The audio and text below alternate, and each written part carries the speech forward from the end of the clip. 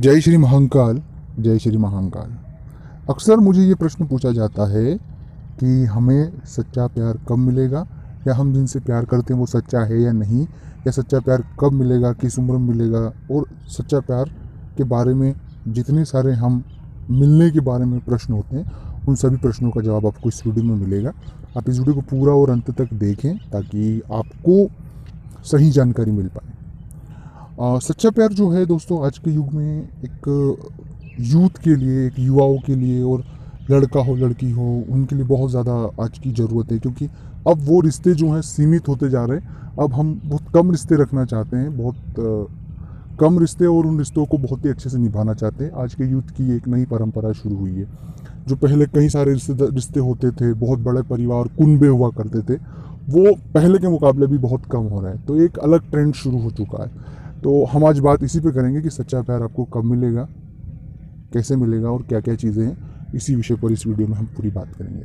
पर उससे पहले मैं आपसे एक छोटा सा निवेदन करना चाहता हूँ कि अभी तक आपने चैनल को सब्सक्राइब यदि नहीं किया है तो प्लीज़ आप सब्सक्राइब करें दोस्तों और सब्सक्राइब करने के साथ साथ ही आप कमेंट्स में लिखे, ओम नमः शिवाय। और अगर आप अपनी कुंडली का एनालिसिस मुझसे करवाना चाहते हैं तो स्क्रीन पर नंबर चल ही रहे हैं। आप व्हाट्सएप पर अपॉइंटमेंट ले लें और मुझसे बात आप कर सकते हैं। शुल्क लागू है। अब हम आते हैं मुद्दे की बात पर कि सच्चा प्यार मिलेगा कब? बहुत से युवा इस विषय को लेकर परेशान और चिंतित होते हैं।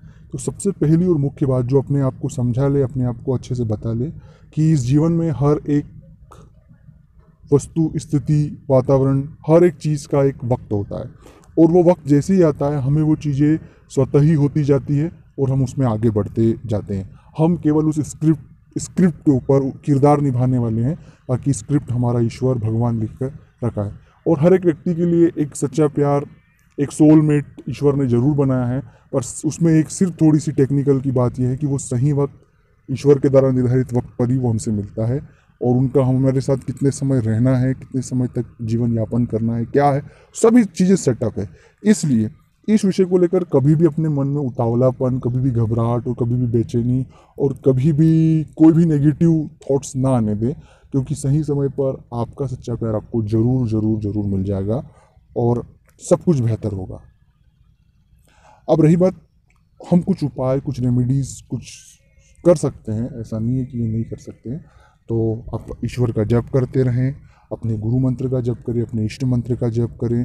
दो वक्त शिवालय जाए, मंदिर जाए शिव जी को रोज़ जल चढ़ाएँ और जितना हो सके उतना पॉजिटिव एटीट्यूड रखें और तीसरी बात ये होती है, कई बार जो लोगों की शादी नहीं होती है, आप चीज़ों को बहुत भी प्रैक्टिकल देखें, दुनिया की तुलना में किसी भी रिश्ते को ना तोलें। आप अपने हिसाब से चीज़ों को देखें। अपने हिसाब से मतलब है जो बिल्कुल साधारण चीज़ें जो और आप अच्छे से समझते हैं उसे। अच्छा लगो, लाइक करें शेयर करें, ओम नमः शिवाय।